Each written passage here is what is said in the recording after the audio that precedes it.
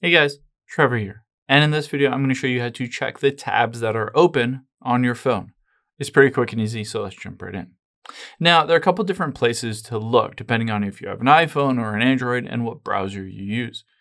So first, let's hop into Safari here. And of course, you can see it pops up with YouTube on here. But if I want to see other tabs, I can tap the two squares at the bottom right and you'll be able to see I have three tabs that are open. I can always close out of them just by tapping the little X here.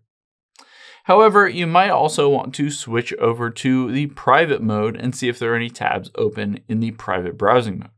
So tap the two squares and then tap private at the bottom left. And if you did have anything on there, you would be able to see any tabs that are currently open in private browsing mode. You can do the same thing with Google Chrome. So let's open up Chrome here.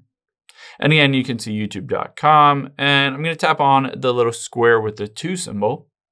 This will again show me the different tabs that I have open. I can always close them by tapping the little X.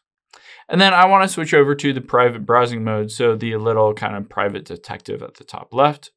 And you can see I have another tab here that I can always just exit out of that one as well so that I've closed out of every single tab on my phone. Keep in mind, depending on your preferences, you can always set it to auto close those tabs.